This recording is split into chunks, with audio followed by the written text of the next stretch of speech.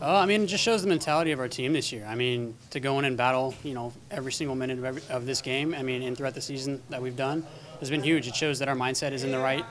We're, we have the right mindset right now, and uh, and it's working for us. You guys seem very, very disciplined in your attack, trying to set up your position, but you never seem to really get going. How was that going throughout the game?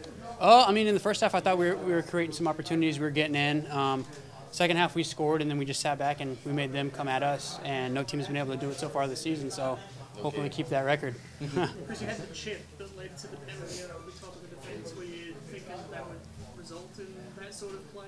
Uh, honestly, I saw AJ getting in, and I knew his body was in front of the defender. So I was hoping, you know, if nothing else, if he could get behind him, that'd be great. If nothing else, draw some contact, and he did, and it worked perfectly.